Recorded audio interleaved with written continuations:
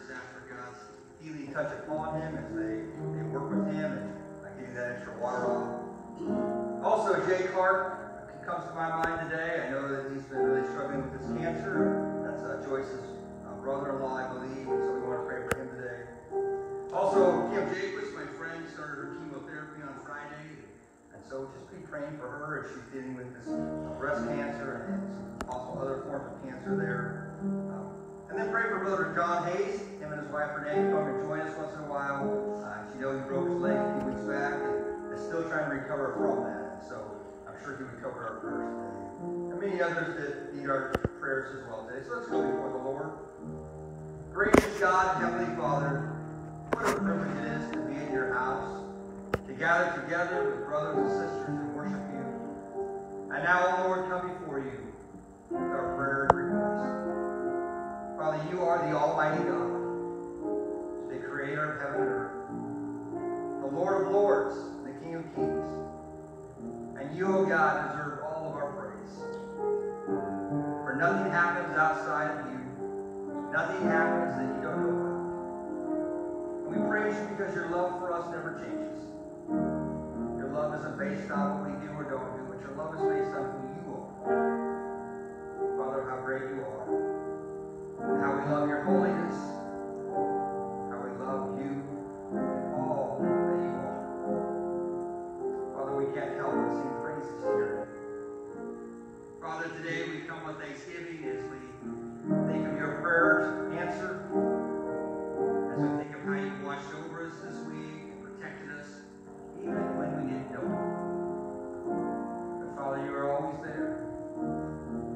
right there to communicate with, to hear our burdens and our issues and our problems, to rejoice with us and to walk beside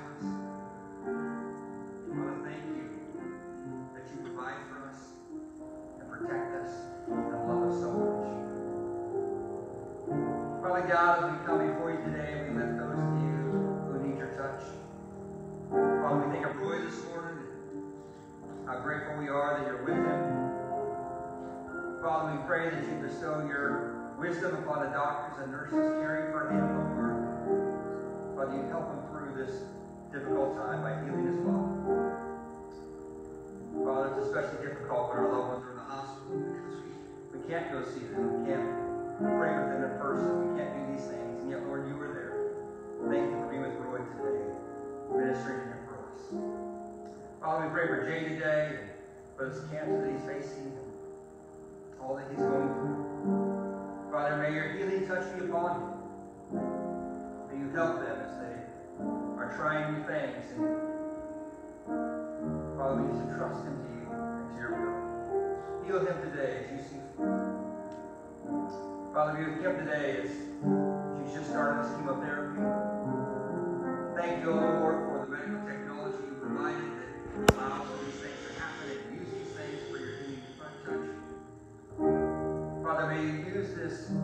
in her life to bring yourself glory.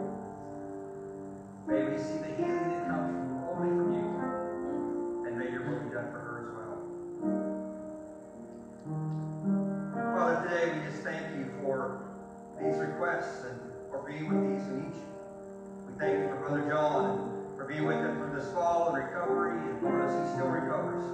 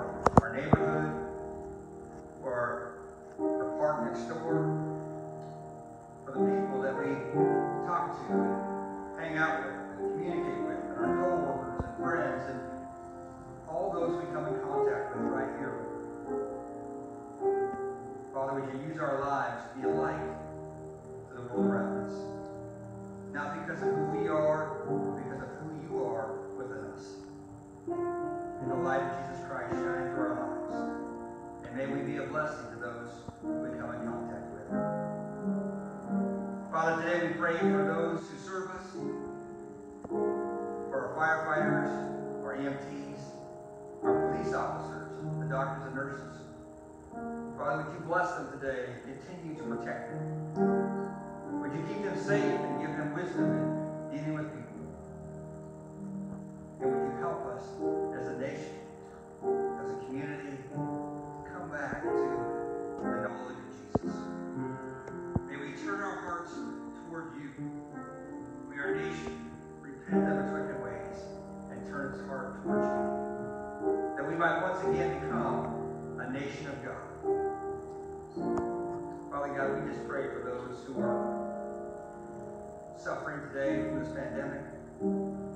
That as we even are hearing good news here, we know of other places around our, our country and around the world that are struggling. Father, would you provide the healing touch?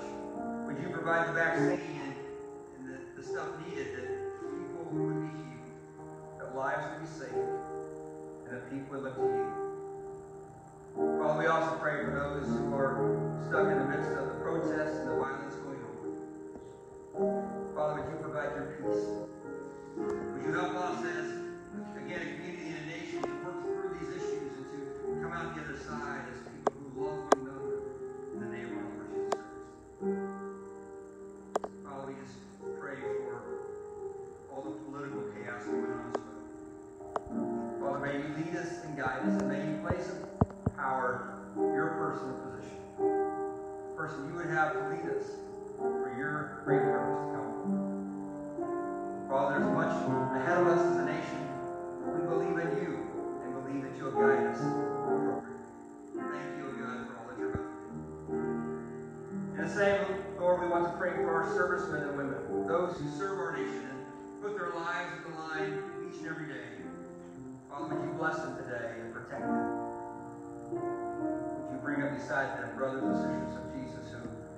Share the good news before it may be too late?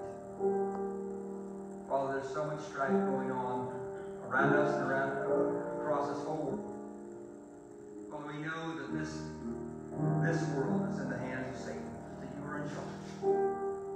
Father, may we see your love and your hope and your peace reign amongst all of you. Father, today we just want to pray for those around us, for the prayer requests of those who are worshiping with us here in church, as well as those who are worshiping at their homes.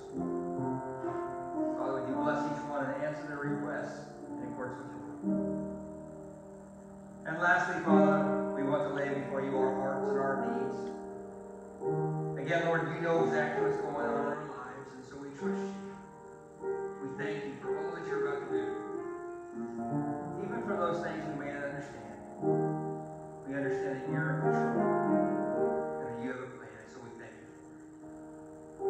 Father, now just bless the remainder of the service. May we sense your presence each step of the way. In Jesus' name we pray. Amen. Amen. Amen. You'll turn your Bibles to the book of. That is in the Old Testament. So you go to the Matthew Testament and backwards, about Paul, and you find the book of Hosea. And I want to read to you today just a couple verses uh, from chapter 4 as we begin. So Hosea chapter 4, going to read verses 1 and 2 as part of our scripture reading this morning. Again, Hosea chapter 4, verses 1 and 2. It says this Hear the word of the Lord, you Israelites. because the Lord has a charge to bring against you who live in the land. There is no faithfulness, no love, no acknowledgement of God in the land. There's only cursing, lying, and murder, stealing, and adultery. They break all bounds, and bloodshed follows bloodshed. Father God, as we break this word of life today, may you speak to our hearts about all that Hosea was standing up for, and may we learn from it as well. In Jesus' name we pray. Amen. Amen. Now, it's probably not too often that you hear a message from the passage in Hosea. Um, when it comes to the minor prophets, we, we don't really pull them out of our hat very often, but you know they do have much to say. And one question that we can kind of start with in our society today, and Hosea was probably starting with back then, is where is God? And maybe we hear statements like the economy of the nation is collapsing. Companies are going out of business. Families that were once thriving are now struggling. Where is God? The morality of society is in decline. People cheat one another. They look up, they look only out for number one. What's happening in our culture? Why doesn't God do something about this? Where is God? Now, again, if you think I'm talking about our society, think again. I'm not talking about the pandemic, the riots, or even political chaos. I'm talking about Hosea and what was going on in his time. Today I want to begin a series of studies on the minor prophets. Now they're not called minor because their message was simply not that important, but because of their size. Each of the last 12 books of the Old Testament is so brief you could read them in the time it takes for some of us to get our computers on and ready to use. You know what I mean? You know who you are. You turn the computer on. It takes you know five minutes to warm up, and then you got to make it work. Well, some of these books are so short you could actually read the whole book while you're waiting for your computer to load. You know, several years ago, I was in my personal devotions. I was choosing typically to read um, in like James or Second Peter, a book of the New Testament that was small, but each day for 30 days I was committed to reading the same book of the Bible. And I would do so because each day I could get something new out of it and believe that God would provide. So I would suggest to you today that you might try that with some of these of the minor prophet books. It has so much richness in it, and I know at times it may be hard to understand exactly what God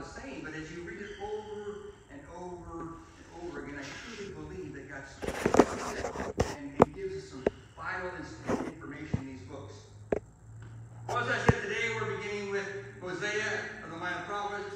Um, each of the 12 last books of the Old Testament um, is part of that set for the minor prophets. Now, Hosea was not the first of these 12 minor prophets to appear on the stage of history. In fact, I believe he was actually the fifth. But Hosea comes first in the order of appearance in the table of contents in our Bible. So that's why we're looking at him today. Now, for those of you who are familiar with Hosea, Hosea was considered to be kind of a brilliant theologian. He was a patriot who loved his country. He was a passionate speaker.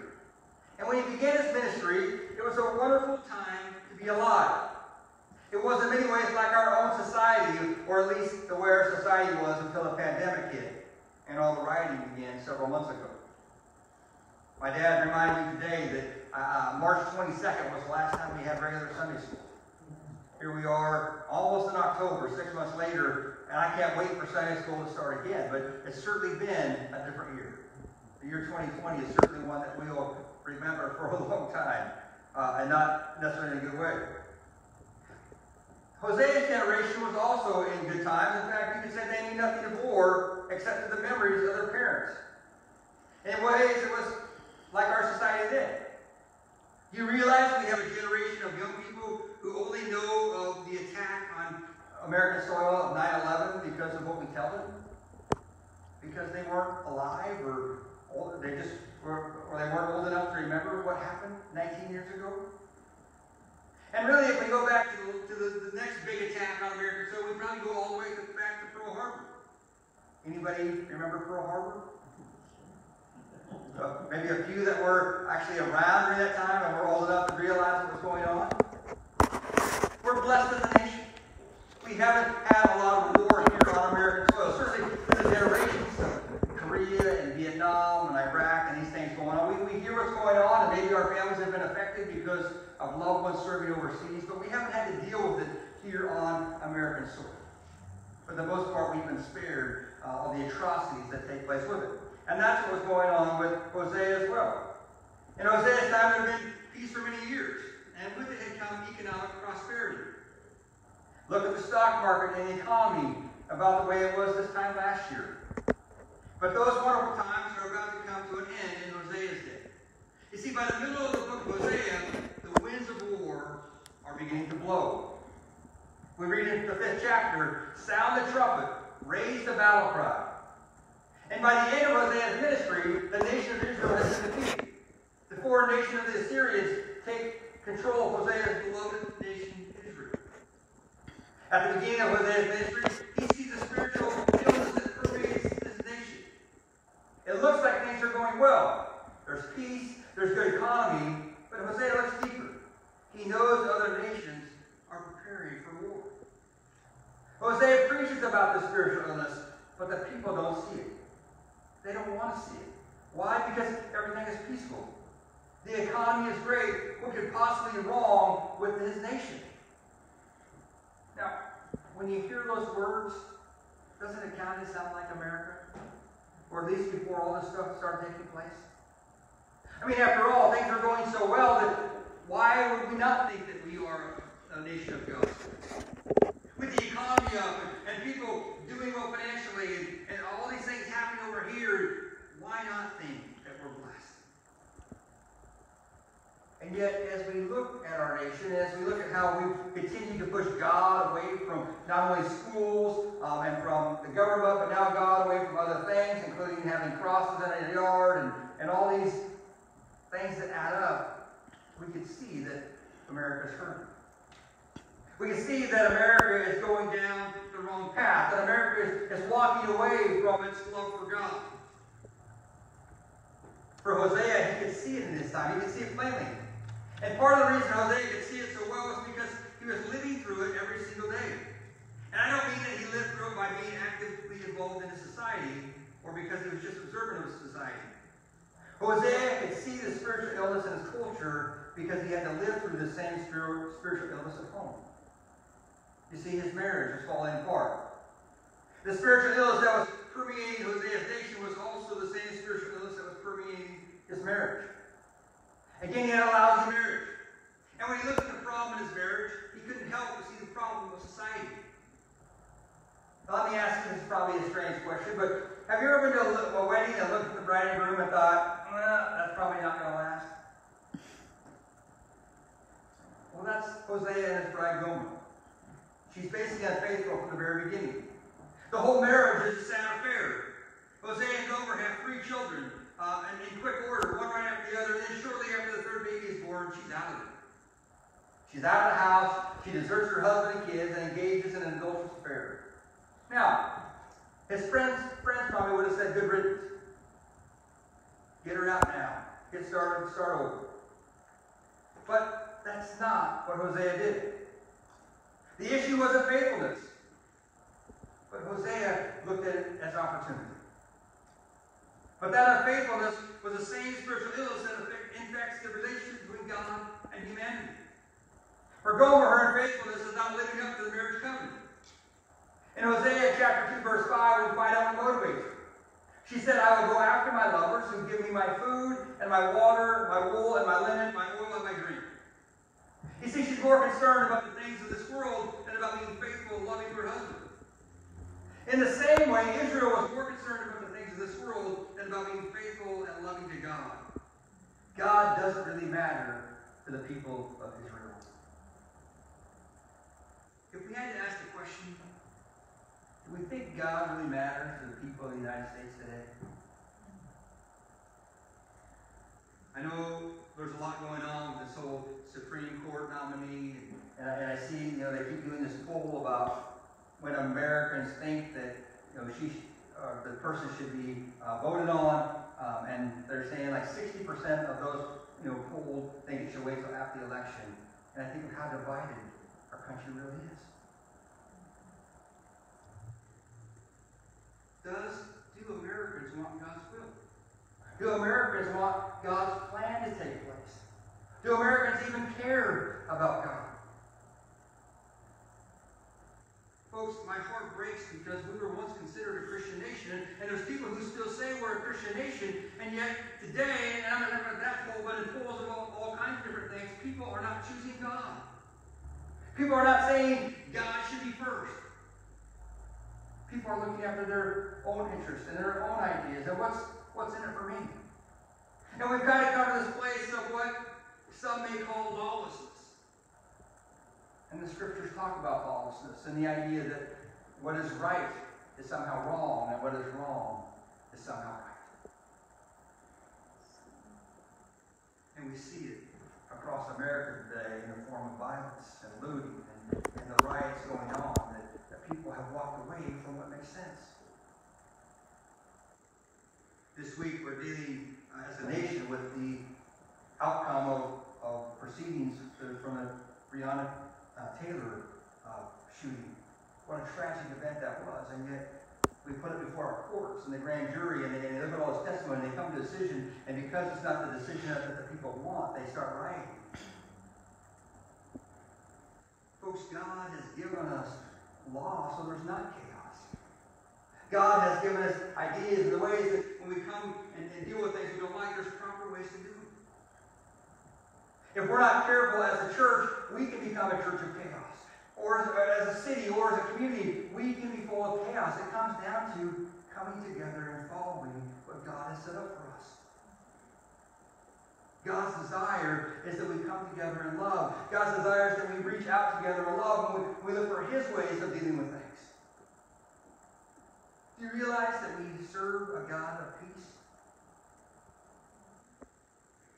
Do you realize with one simple breath that God could destroy us all? And if you look at history, not just the time of Hosea, not just our time, but throughout history, hasn't there been lots of times where pure God history would just go away? As I was thinking about my sermon yesterday, I was thinking about the idea that, you know, there really only has to be, only can be one God. You know why? Because if there are multiple gods, God would have done away with us long time ago. Right?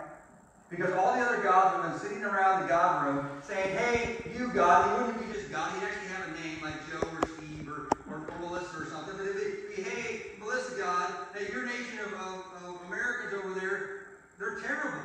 Look at how they treat you. Look at how they treat one another. Um, you should do something about it. That's what it would be if there were multiple.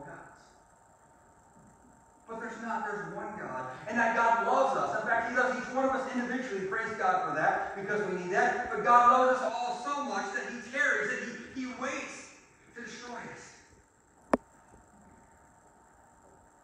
And yet we hear these words of Hosea chapter 4. Let me read them to you again right now. Hear the word of the Lord, you Israelites. Could be you Americans as far as I'm concerned, but this is for, for Hosea. Hear the word of the Lord, you Israelites, because the Lord is in charge to be against you who live in the land. There is no faithfulness, no love, no acknowledgement of God in this land. There's only cursing, lying, murder, stealing, adultery.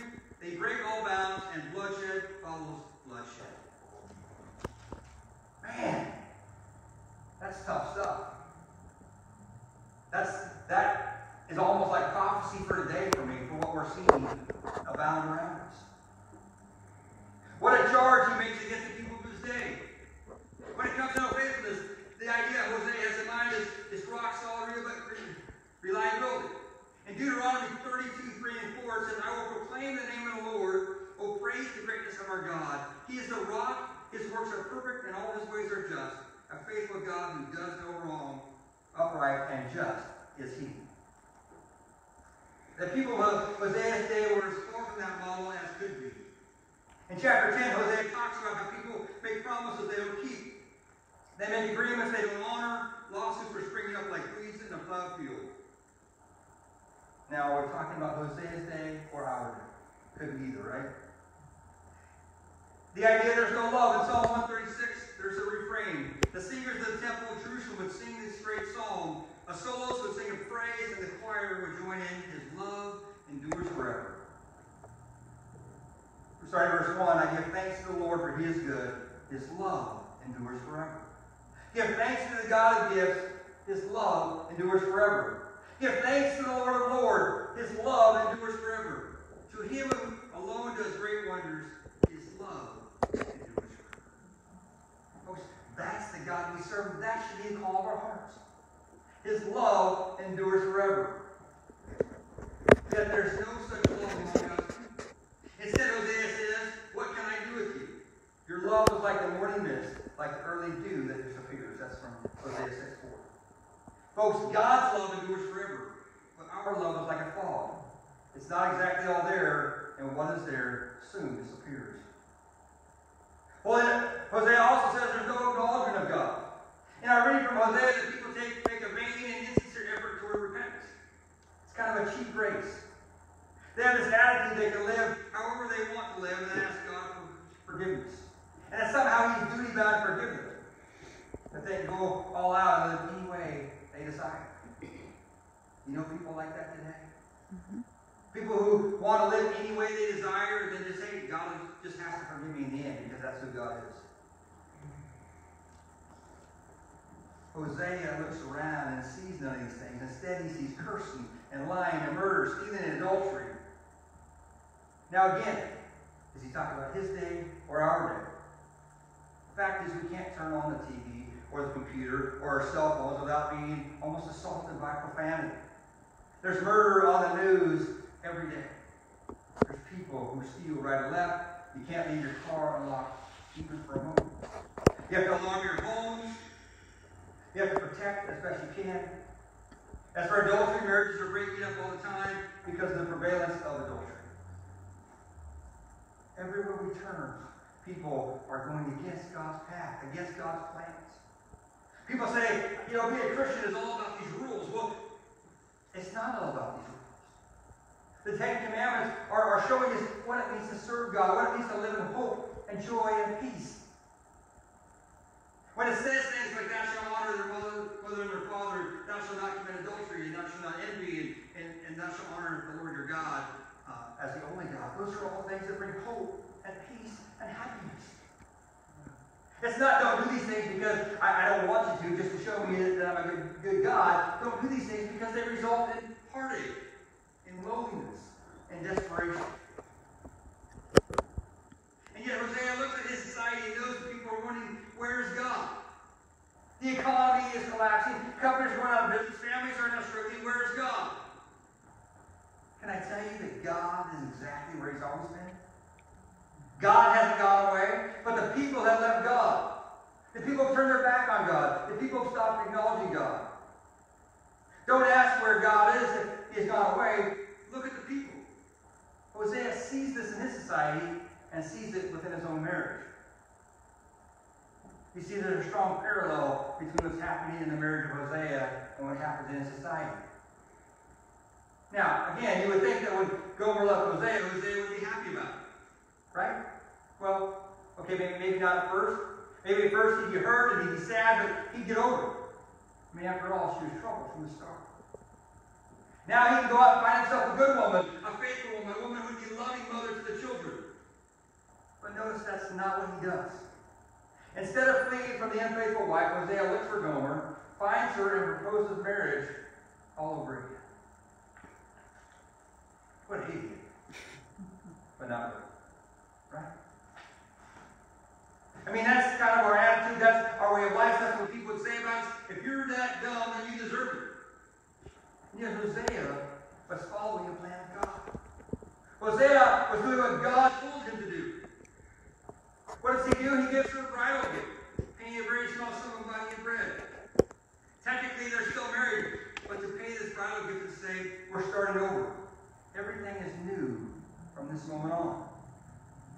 Now, it's likely that Gomer doesn't love Hosea, but Hosea loves Gomer. Gomer is not faithful to Hosea, but Hosea remains faithful to her. And Hosea is willing to do everything he can to win her back. He never gives up. And Hosea sees that as a reflection of God's relationship with humanity. Aren't you glad that God doesn't give up? Aren't you glad that God doesn't give up on you? You know, I don't know about you, but I'm grateful to be a part of the Church of Nazarene. I'm grateful that we're a holiness church. I'm grateful we believe in uh, sanctification and the idea that the, the drive to sin can be taken away from us, that we no longer forced to do that, that we can live uh, kind of perfected lives, not meaning we're perfect, but meaning that we're living as God designed us to be. That's what we believe as a church. We strive for that as, as Christians.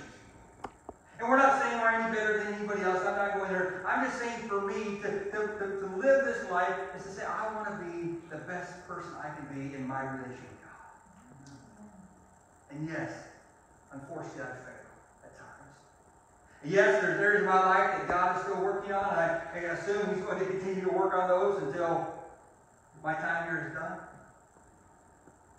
Seems like once I kind of, once God and I together conquer an area of my life, and something else comes up, and God says, oh, by the way, hmm, let's look at this other clause over here. Or let's, let's, let's go downstairs and do this area here. Because God is faithful. Because God wants me to be more like Jesus. Because God wants to use me, He continues to work on me. Praise God for that. God doesn't give up on us. And the fact is, whether we got saved when we were little and, had the opportunity to be in church like I did, or whether maybe you came to, to God late in life, whatever the case is, God hasn't given up. And if you have kids or relatives who, who've been with God, they kind of walked away from their salvation, the good news is God hasn't given up on them. And the truth is, even that person down the street or down the way who has done some really bad things, God hasn't given up on them. And as long as they're still a part of this world, of, of this life, God's desire is for them to come to know Him. Praise God.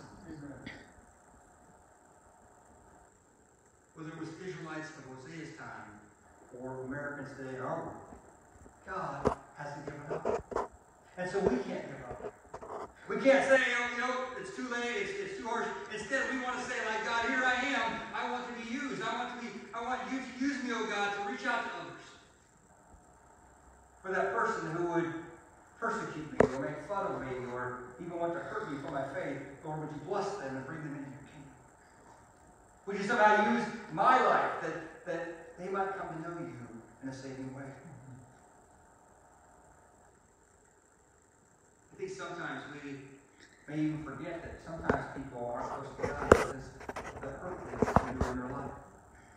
The truth is, most people have endured hurt so in their life. Something's happened to them. Uh, maybe it's a loss of a loved one. Uh, maybe it's a loss of a relationship. Maybe they've simply been hurt by somebody else, and it's taking them away from God, or or, or help them to question if God exists. And our place is not to go to them and try to, to make them change. Our place is simply to love them. To live out our relationship with God as best we can, but not to force it upon anybody else.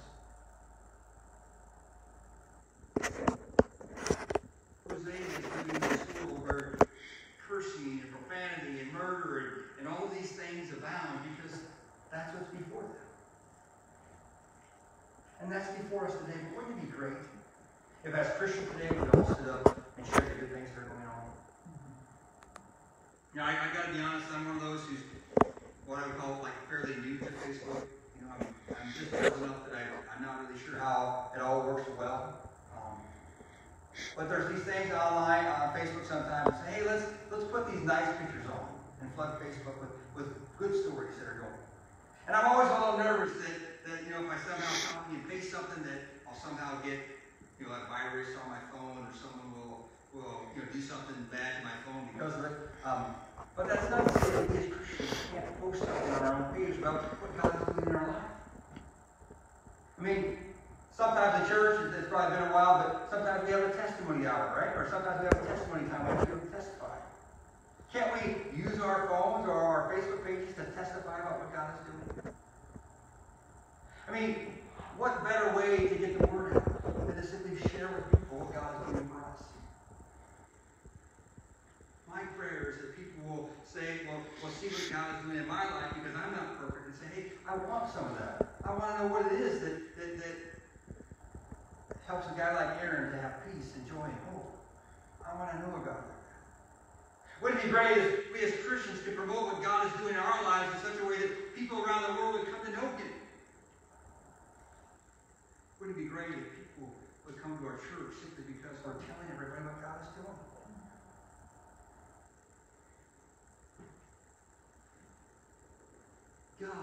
is faithful to us. Amen? Yes. God doesn't give up to us. Amen? Amen.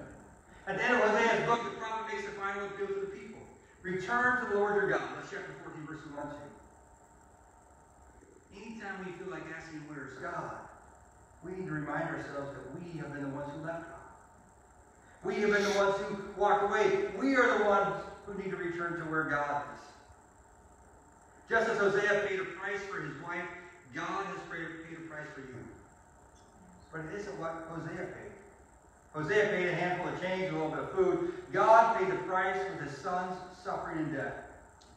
And while some in our society look at the pandemic and the riots and the political chaos and ask, where's God? God is in our presence asking, where are my people? He is waiting for us to return to him. And it's time. It's time for us to return to him. Too many people find themselves asking, what has God done for me lately? And we want to live in a society that's all about the moment. What has God done for me now? And they tend to forget about what God has done. You see, way back long before we were born, God had this plan that included you. And you have a purpose. And God wants to use you. And, and however your circumstances are, good or bad, God wants to use that for his kingdom and his glory. And God has a purpose for you. There's not one person out there today who is made by accident as far as God's concerned. There's not one person out there today that shouldn't have been born, that somehow, uh, you know, the, the stars aligned or whatever happened and all of a sudden they're here. Each and every person is here by God's design to be used in God's plan. And we need to get that to the people. And it starts by returning to God. It starts by us celebrating by God is, who God is. It starts by us believing in God. You know, we live in a different world than we did 100 years ago. Um, some ways that's really good. Some ways not so good. Sometimes when I read about the old tent revivals, that, you know, that the evangelists show up in town, maybe on a horse, and they, set up a tent, and, and they go out and start preaching, and they preach night after night after night after night after night, until, and people, basically people quit coming. And there were nights that they, you know, the, the, the evangelist might have a cowboy hat, he'd, he'd take the hat and pass it around, and, and no, no money would come in from that, and he'd be like, okay, well, that's okay too, and, and yet if the people are there, and he's coming back the next night. As long as the people were eating up what God had to say, he was there. Or possibly she was there. Preaching the word of God. The truth is, in America today, we try to have a revival, and we're lucky to get two or three nights out of it, aren't we? People have so many things going on today, it's hard to commit to that many nights in a row.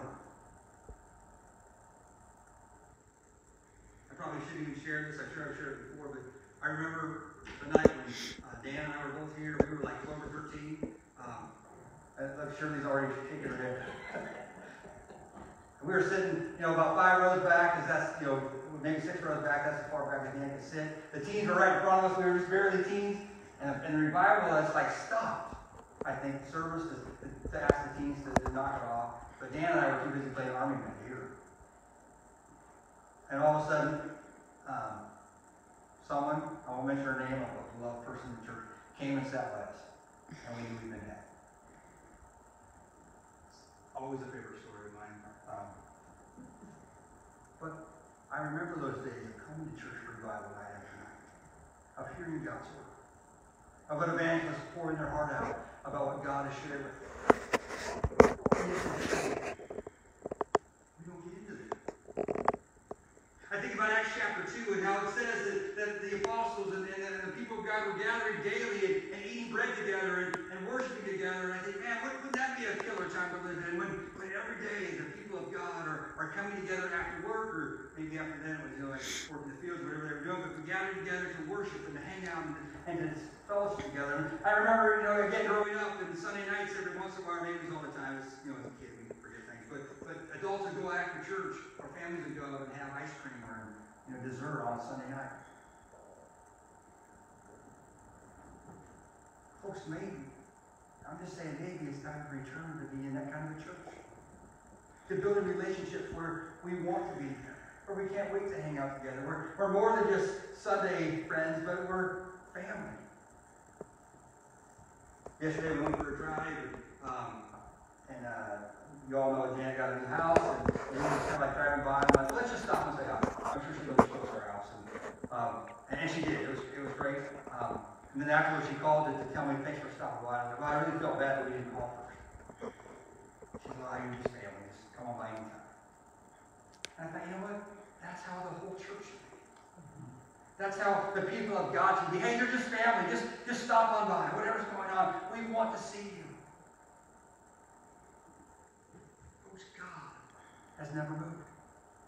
God hasn't changed. And as much as we want to stop by and see this person from church, as much as we want to hang out, God is right here saying, hey, come see me. Come be with me. Come be in relationship with me.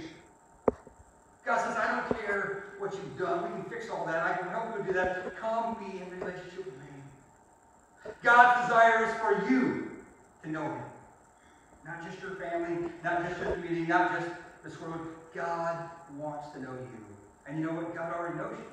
He knows you by name. He knows the number of hairs in your head, the Bible tells us. He knows how many days you have, and yet He still wants to know more of you. That's the ironic thing. God knows everything about me, and He still wants to know more. Praise God. Solomon said, who's King Solomon said, there's nothing new the sun. What has been before will be again, and so on and so forth. Folks, what we're facing today in our society isn't something brand new. There may be a different path down this, this slope, but it's the same thing that's going on from time to time. Our country, just like the Israelites, is in much need of revival. Mm-hmm. And revival happens when Christians get on their knees and pray and seek His face and return to Him. Let's plan that. Let's pray and then we'll sing our, our closing song. Father God, thank you for this day. Thank you for the words of the minor prophet Hosea. Thank you, O Lord, that we can see what happened at his time is happening again. And Father, our hearts are that we want to return to you. We want our nation to return to you. We want to once again become a nation of godly people. Father, we know that you're not a heavy-handed God. We know that you came to us in love, that you reach out to us and, and, and say, come on in and we'll fix you together. Father, help us to be like you. Help us to reach out and love people like you do. Help us, Lord, not to be heavy-handed or vindictive or, or, or any of those. Help us simply to love people in your kingdom. Father, thank you for all that you're about to do. In Jesus' name we pray. Amen. Let's sing. Let's stand together, shall we, and sing My Burdens Roll Away. The first and the last verses. My burdens